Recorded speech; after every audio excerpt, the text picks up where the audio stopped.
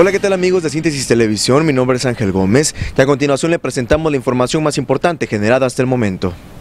Banderitas verdes eran agitadas al ritmo de la batucada, el río verde de gente se contoneaba en torno a tres personas, Arturo Escobar y Vega, senador del Partido Verde Ecologista de México, el senador con licencia Manuel Velasco Cuello y Seth Yacir Vázquez Hernández, quien la tarde de este domingo tomó protesta como dirigente estatal del Partido Verde Ecologista de México. La arena metropolitana Jorge Cuesi Serrano recibió la ola verde. Tres mil voces se subían en las butacas de plástico para poder saludar al güero y gritaban porras dos mil personas que no pudieron entrar esperaban la salida de las tres personalidades que se dieron tiempo para saludarlos. Señoras cargaban sus pequeños en brazos y los caballeros sostenían gallardetes con el logo del verde ecologista. No había una persona que no portara el color verde.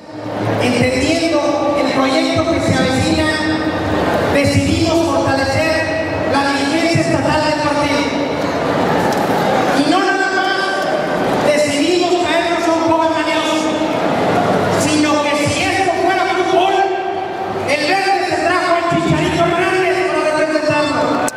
Al subir al templete lo esperaba un tumulto de fotógrafos y camarógrafos. Atentos tomaban la imagen mientras la gente coreaba güero, güero, güero.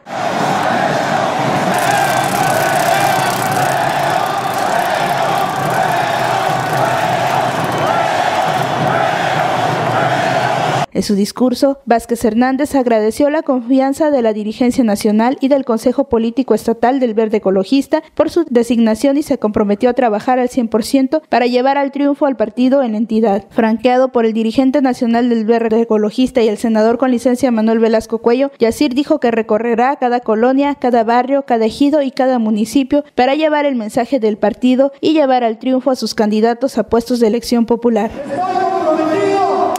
Con cada mujer y cada hombre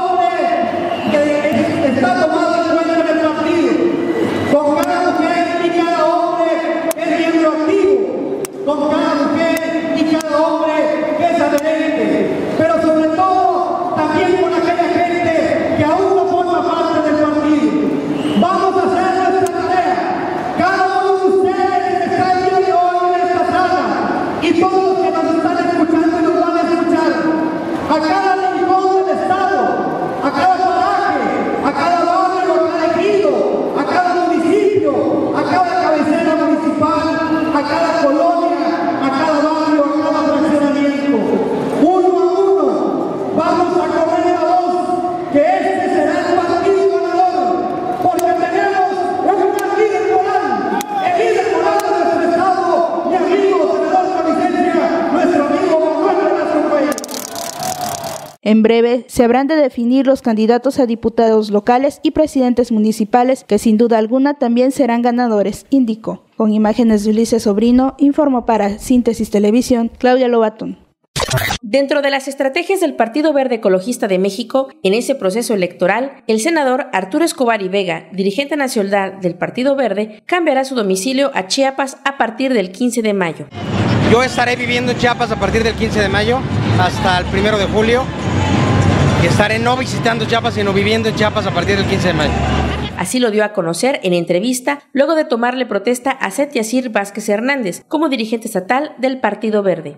En este proceso electoral, cada partido político elaborará estrategias de acuerdo a sus intereses. En fechas pasadas, el Partido de la Revolución Democrática dio a conocer que para la próxima contienda electoral, una comitiva de legisladores y senadores se desplazará a Chiapas para apoyar a la candidata de las izquierdas, María Elena Orantes López. Por otra parte, el dirigente del Partido Verde Ecologista de México señaló que aunque hayan candidaturas comunes con el Partido Revolucionario Institucional, el Verde hoy se encuentra sólido y unido. Con imágenes de Ulises Sobrino e información de Claudia Lobatón, informó para Síntesis Televisión Carla García. Agradecemos el favor de su atención y de la misma manera lo invitamos a que continúe adquiriendo nuestro semanario impreso que ya se encuentra en distintos puntos de venta de la entidad, además de que nos visite en nuestras redes sociales, tanto en Facebook como en Twitter.